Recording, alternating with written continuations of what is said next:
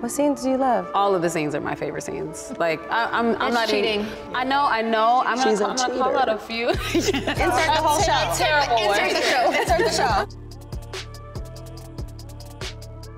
My favorite scenes in Sistas, the day we found out that Karen's salon was burning down, it was so crazy. Like Angie almost passed out on the set. It was wild. Armani did this cool setup. It was going in a circle. It was so cinematic. It was f- phenomenal. It's not her, y'all. We don't know. We don't know. Hold on.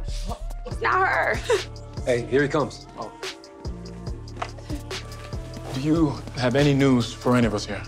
Who is next of kin? All of us. All of us. Okay, well, uh, I'm sorry, but we can confirm that the victim is deceased. Oh. No. No. No. I'm sorry. I'm so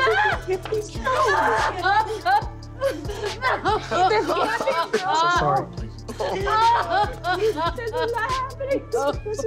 Love that scene. My favorite, favorite scene was going to Hayden's house and completely ransacking it. With The bat. Yes, with the bat. You just won't leave him alone. No, I didn't do nothing to him. I swear. I swear. I didn't? No, I did not. I Then didn't. why were the police at the damn house? I, I don't know. Ask him. I don't know. I didn't do anything. You're lying. No, uh, Fatima. Fatima, don't. Hey, Fatima. Don't- No, no, not my TV. Oh, Fatima. Yo, what the?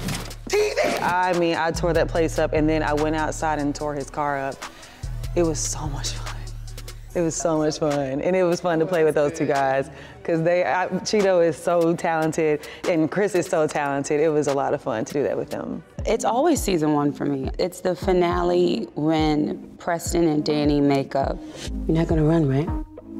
No, I'm not. Okay, because I was stalking. Trinity was really new and he was nervous and you know didn't couldn't didn't feel comfortable taking as many liberties. It was the one time I asked TP, I was like, can we get one more take?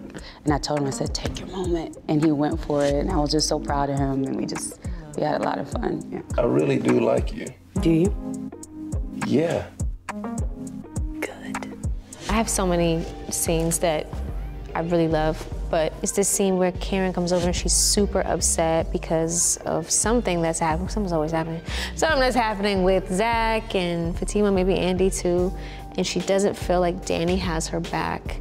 And we like kind of play against this thing that they've had since the beginning of the show of them both kind of feeling like, you don't get me and you don't get me. I came because you a friend who tells the truth.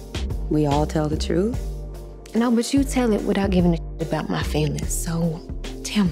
He's moved on and he's happy. Even though they don't necessarily leave the scene resolved entirely, I think they both believe each other. Mm-hmm. And that's why they still obviously continue to be friends, but there's still something there to hash out. You don't think he's trying to make me jealous like always? Oh, wait, no, no, no, no, no, no one's Zach.